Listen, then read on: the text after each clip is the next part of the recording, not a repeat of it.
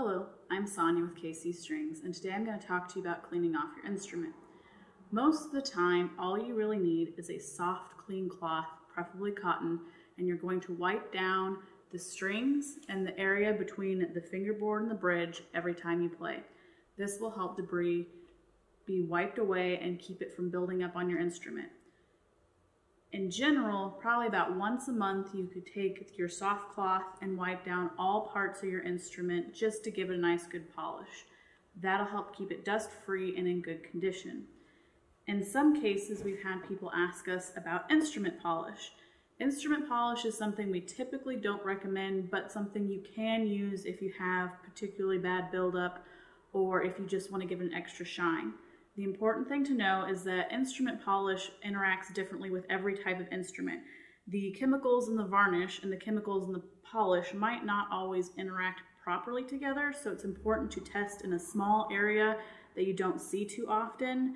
Um, you might test right around the button, or you might test right kind of in the crevices by the neck in a very, very small spot and test carefully.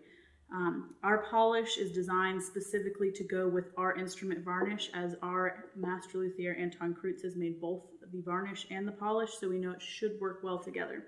Any other instrument or any other polish brand, test carefully first. Now most of the questions we've been getting about cleaning lately have been about how to sterilize your instrument. The best answer is there is no good way to sterilize your instrument. Um, you can use different types of alcohol, just like you would with hand sanitizer. You need a higher percentage of alcohol in that to clean it off.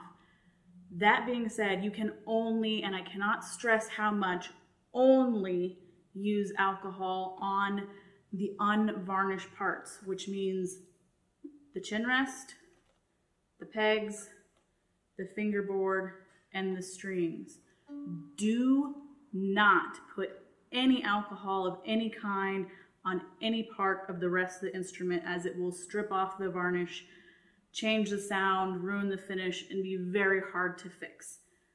When in doubt, don't use it.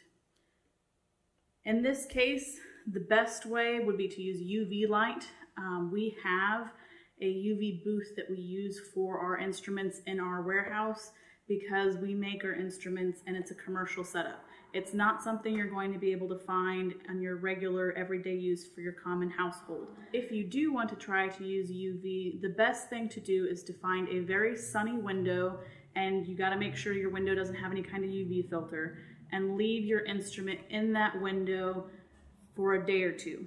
Between the UV from the light and just letting your instrument sit untouched, you're most likely going to have any kind of pathogens on the instrument be destroyed by the UV or die out on their own from lack of contact. If you are choosing to use alcohol to clean off your chin rest, fingerboard, strings, or pegs, and only those parts of your instrument, we recommend a rubbing alcohol. If you can't find rubbing alcohol, you can use your essential denatured alcohol you'd find in a hardware store, or you can use something like Everclear, which is over 60% alcohol. It's important that you have it over 60% or it does not do the job it needs to do.